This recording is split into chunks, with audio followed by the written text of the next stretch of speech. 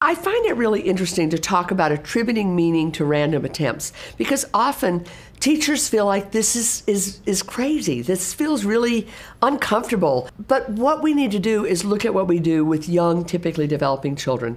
We attribute meaning all the time to typically developing children. That child says, da, da, da.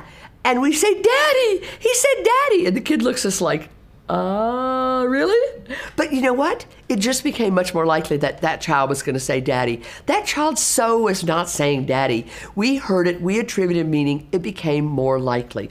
When a student is using a communication device and says something, I attribute meaning. So if we're reading a book and that student says who, and now I attribute meaning, I assume that they're asking a question about the character in the book. And I say, Oh, who? Well, I think that was that dog that's the really bad dog in my book. That's who it was. And by doing that, I'm telling them, what does it mean to say who? Maybe that student didn't know that before, and I can help attribute meaning. By the time we have students scribbling, by the time we get good communication systems in place, they're a lot older and we feel like everything should be meaningful and they should just know how to do it.